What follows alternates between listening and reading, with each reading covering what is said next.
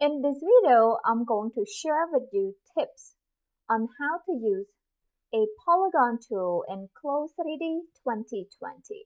There are three things you must know about the polygon tool in Clo3D. Hi, I'm Rose Willey from Encoder Fashion. Tips. Tips number one. Click one to begin the point and must come back to the starting point to finish Tip number two.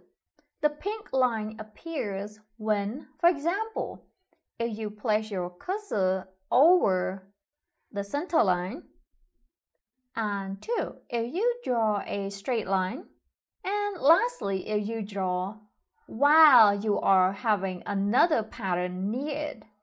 Tips number three, click and drag to create a curve. Tip number four, the pink line doesn't show if you draw in a diagonal line or no other points. How to use the polygon tool? Option 1.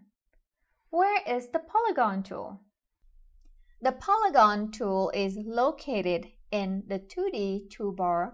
If you come to the toolbar and hover your mouse over each tool, you will see the tool name and in this example, I'm going to select polygon tool. You come over here and click on it to select. Option 2. How to use the polygon tool.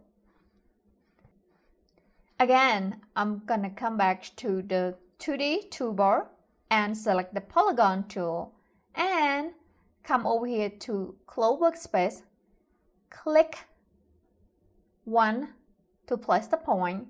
And then as you can see right here I know my my line is straight because the pink line appear. If I just angle it down like diagonal right over here the pink line doesn't appear nor up. So I'm going to just start drawing a shape okay? So come down here and then to create a curve we're gonna click and drag, just like that. Then click again to place another point.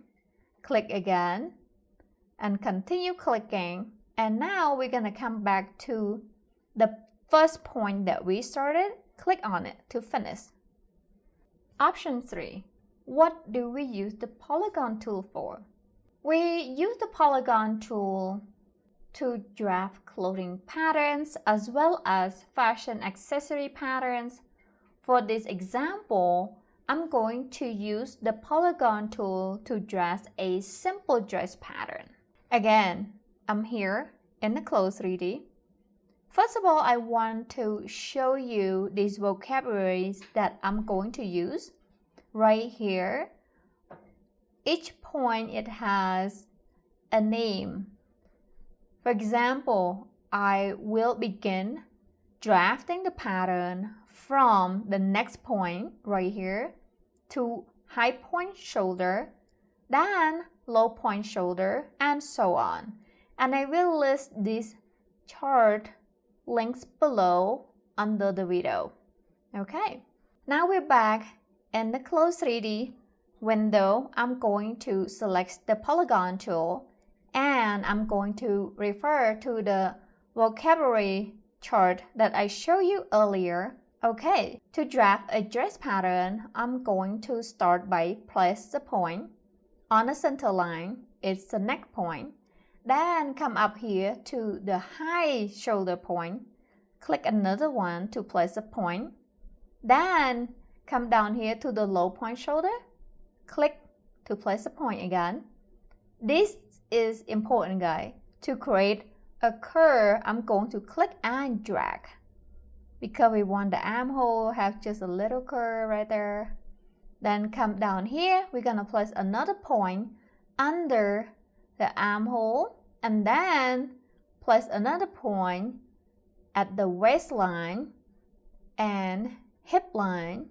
Now we're gonna come down here to the hemline of the dress and come back over here to the center line.